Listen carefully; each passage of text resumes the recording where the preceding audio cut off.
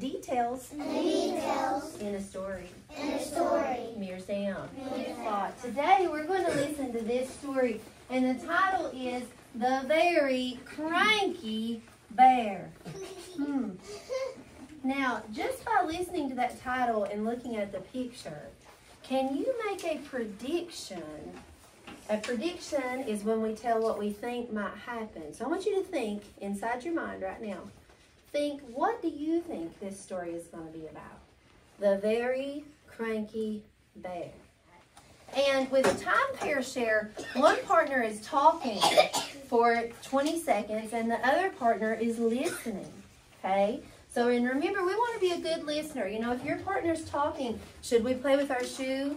No. Should we pick up things off the floor?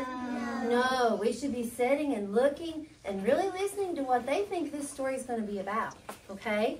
Now, if you are a cat partner, you will go first.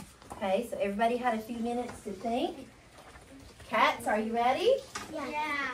Okay, turn towards your dog partner and tell them what you think this story will be about.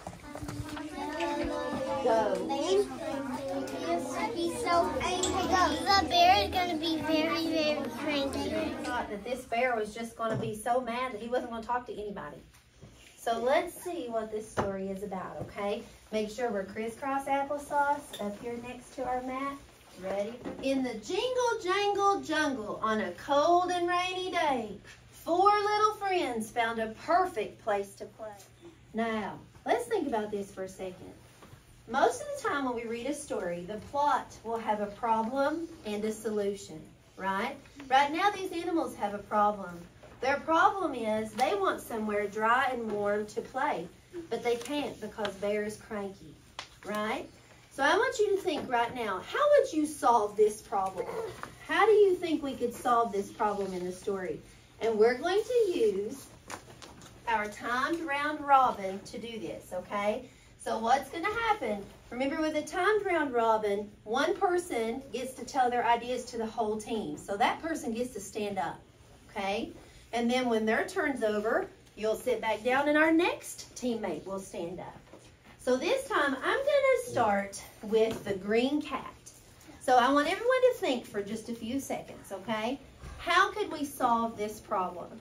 What do you think? It could be how you think the animals should solve the problem, or maybe it would be how you would solve the problem. But what, what, how do you think we could solve this problem right now in the story, okay? So when I say go, Green Cat will stand up, and you're going to tell your ideas to your team, okay? All right, Green Cats, go ahead and stand up. You have 20 seconds. Oh, Green Cross, please. And go.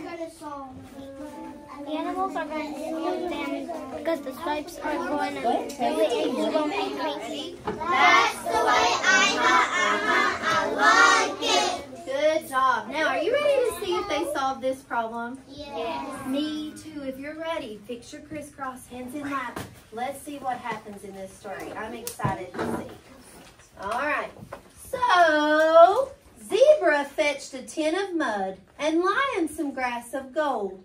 Moose got two big branches and sheep, well, sheep got cold.